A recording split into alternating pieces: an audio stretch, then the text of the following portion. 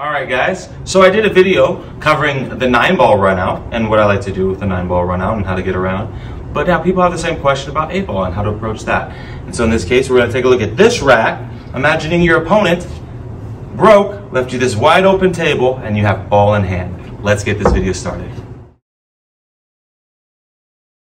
All right, guys. So what I like to think about first, and this goes against what a lot of beginners think, okay, but usually early in the process of analyzing a table, I like to locate where the eight ball is. And not only locate it, see how, what shots are the easiest to get to that eight ball. Okay, so for example, this table, is pretty open. The only trouble balls are really this, okay? But I could take the, the five and I could, I could make the five on the side from here. But then, if I run out the table, what do I have to get me on the eight ball? I mean, really the best shot would be maybe like the six ball, right? But to get good shape, I need to be like right here so I can come down, it's just so much, okay? I could start here, roll forward, take these two, but then what am I left? I can go around the table, try to get shape on the six and then play these two. But even if I did, I leave myself in the seven and the two as the last balls, now I got a tough shot shooting up the table for the eight. Where, as is in stripes, okay, if I let my last ball, let's say be this one, if I just did a stop shot right there, I got just about a straight in shot on that eight ball, okay? If So pretty much anywhere in this vicinity, I'm gonna have a straight in shot on that, that eight ball. Even if I come too far here, I can thin this 14 ball, come out over here. Because things happen, sometimes not everything happens exactly as planned, right? But I also have the 15 ball. If I somehow my shape goes off, I can get to the 15 ball. Even if I got to here, I could draw this out and come over here. Again, you gotta remember, this is the last ball we're talking about, so these stripes are gone, right? But anywhere in here, I could play a nice, reasonable 15 easy shot and make it and have the eight ball come over here. So now that I've identified the eight ball and I've identified several last ball options, now what you do is you actually work backwards. You gotta work backwards. You gotta give yourself a plan on how to get to that ball. So that's your last shot. Now, 14 ball, I think probably the easiest options are gonna be these two up here. Because if I stop here and I stop this shot here, I still have a straight in shot on the 14. If I let this one be the one before the 14 and I stop it where it is, I still have a pretty decent shot on the 14 where I can either try to um, try to stun it and let it stop here like that. It takes a lot of control.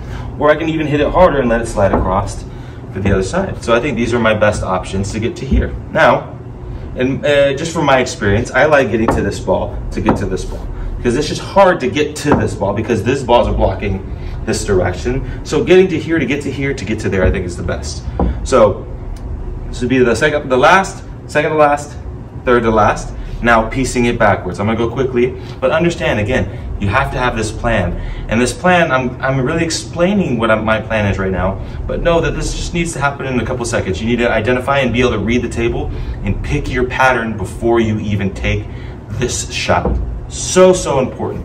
And you'll get better as you do that. And as long as you start having a clear, concise pattern, your game will improve, okay? So, this is the ball I need to get shape on. I think from there, I think something like along the lines of being over here on the 15, going to the rail, coming out, shooting that. Getting to the 15, I think it's easy from the 12. Getting to the 12, I think it's easy getting from the 11. And getting to the 11, I think it's easy from getting to the 10. And I, I think I, you saw I just worked all of my way backwards. And you know, there, there, there's a tougher way. You can go 11 first, 12, 15, 13, 9, 14. But if you don't get perfect on this 10 ball, then it ruins your entire pattern. But if you come down here, if you roll too far, well, your cue ball comes all the way across and comes straight across like this on the 14. So you want to pick the, the, the path that's going to give you the most room for error, and I think this is the right path. Okay, so I'm going to be in line here. and We're going to try to execute the run out here. Okay. Now, one of the things in my nine ball video that hopefully you've seen, if not, I'll leave a uh, link in the description, is that when you shoot patterns, you always think three balls ahead. And we're not gonna do anything different here. We're gonna do the exact same thing, three balls.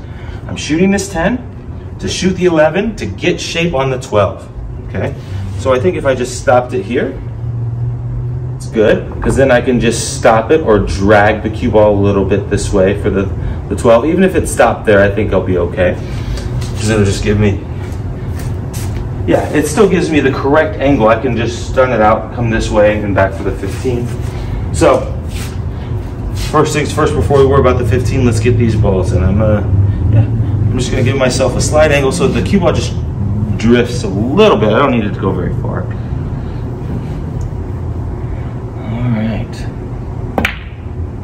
See, I don't need to go very far. table's not too. All right. Straight in is here.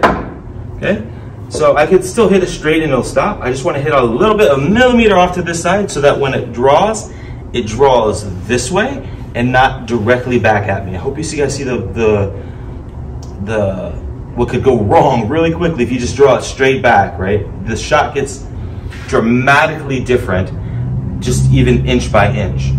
Inch, you're good. Two inches, uh, three inches, five inches, and it's like you're shooting the, in, the, the wrong shot. So I wanted to drag this way so that this way I have all of this space to be wrong. And that will give me the line. Okay, this is my shot line on the 12. I just need to make sure I'm over here so that when I shoot the 12, I can go over for my shot on the 15 because I want to be on this side of the 15. Okay, and you'll see why in a second. Let's shoot this 11 ball first.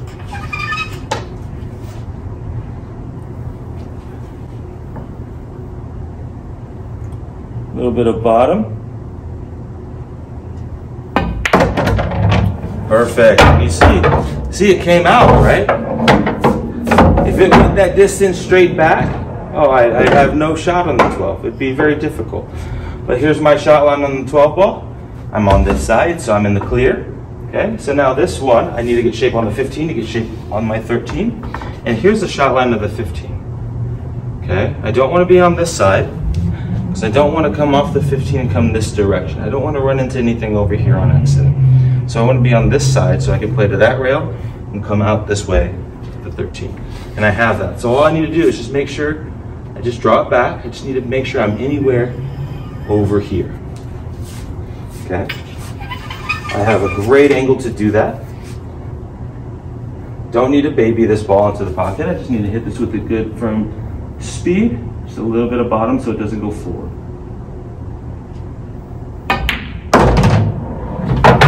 Okay, as you see, my shot line is here, and I'm clearly over here. Next shot. The only thing I don't want from this shot here is to be on the rail, because then my cue ball is going to come this way towards the nine. If I'm anywhere here, I have a great shot on the 13. If I start coming out on this line, that's no good because my cue ball still going to come off the around to the nine. So I just need to make sure I focus here, get this cue ball anywhere in this kind of vicinity here. Okay, I have a great angle to do this. I can kind of roll this with left hand English, so when it hits the rail, it spins a little bit backwards towards me. Okay, I'm not going to go extreme top. I'm just going to go, just a rolling cue ball I think does the trick here.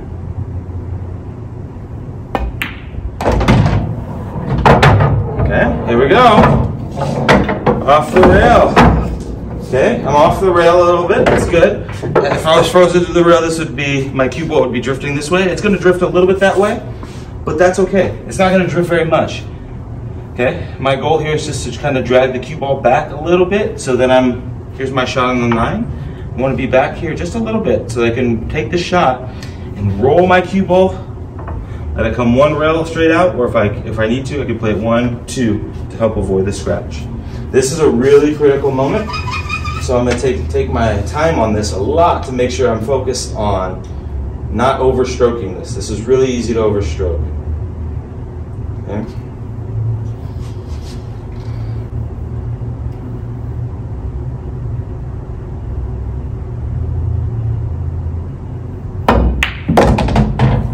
There we go.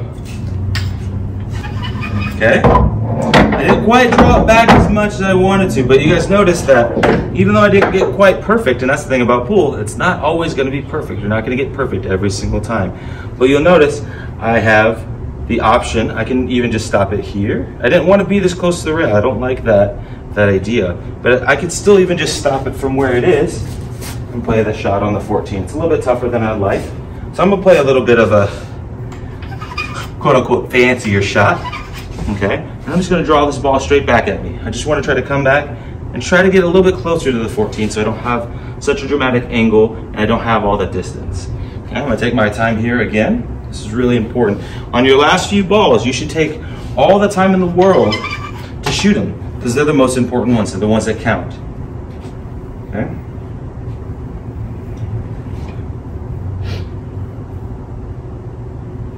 Let's use an open bridge here.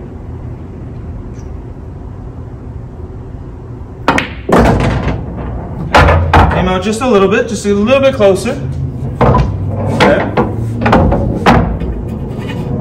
And you notice, even though I didn't play this one the way I wanted to, it still allowed me to get out because I played the higher percentage run out. I didn't try to get to a place where I need to be perfect.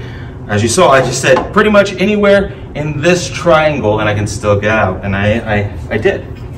So here we go, 14 ball.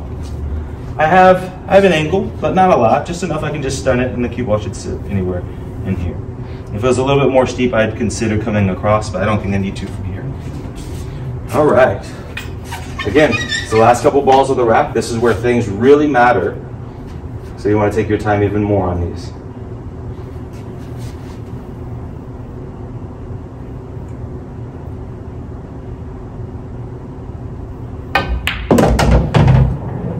Perfect. I didn't get straight on the eight ball, but I got a very, very makeable.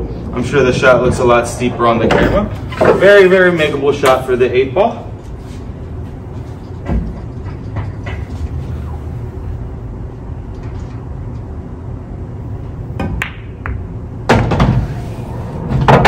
and that is the run out. Okay. I hope this video was helpful for you. If it was, please make sure you smash that like button and hit that little subscribe, subscribe and notification bell so you are alerted when I post a new video. All right, guys, and I'll see you next video.